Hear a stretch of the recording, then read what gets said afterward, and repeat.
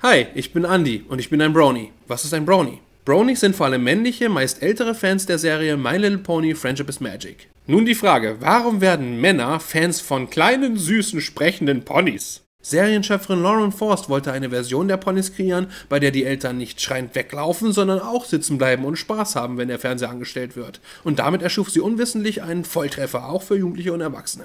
Der oberflächliche Eindruck, den die meisten bekommen, wenn sie Intro und Optik der Serie zum ersten Mal sehen, ist falsch. Dies ist keine anspruchslose Kleinkindserie. Wir haben hier super geschriebene Charaktere mit Tiefgang, Witz, tolle Musicalnummern, Abenteuer, Slice of Life Stories, zuweilen auch mit düsterem Einschlag. Und wir leben auch in einer Zeit, in der Geschlechterrollen hinterfragt werden. Es ist bunt, es ist süß, das ist nichts für Männer.